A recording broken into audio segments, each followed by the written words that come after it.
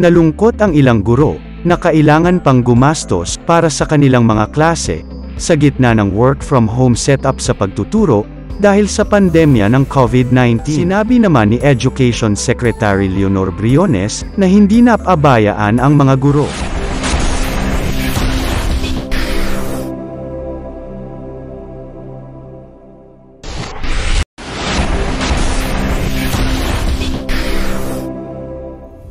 Magandang araw po, mga kaguro.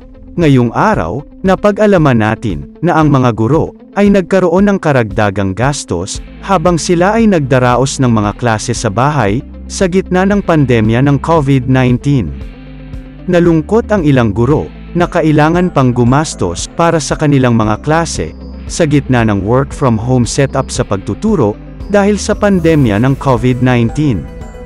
Ayon sa ulat nitong lunes, nanawagan si Chris Nab alis sa gobyerno, na repasuhin muli ang kanilang mga sahod, at e-base sa cost of living sa bansa. Sinasabi nila na ang teacher, hindi naman namamasahe, pero yung mga bills namin ng kuryente, at tubig, ay talagang tumaas. Dahil yung trabaho namin, dinala namin sa aming mga bahay, sabi ni Nab Alis. Nagkaroon ng added expenses yung pandemya para sa aming mga teachers. Kumbaga, drain ng yun, dagdag niya. Sinabi naman ni Education Secretary Leonor Briones na hindi napabayaan ang mga guro.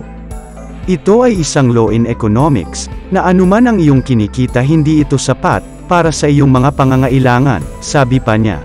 Maraming salamat. At kung ikaw ay interesado ng mga bidyong tulad nito, Mangyaring suportahan ang channel na ito, sa pamamagitan ng pagpindot ng like, pag-share ng mga video at kung bago ka pa lang sa channel na ito, please subscribe sa channel na ito at pindutin ang notification bell at piliin ang all upang maabisuhan ka para sa mga paparating pang mga videos.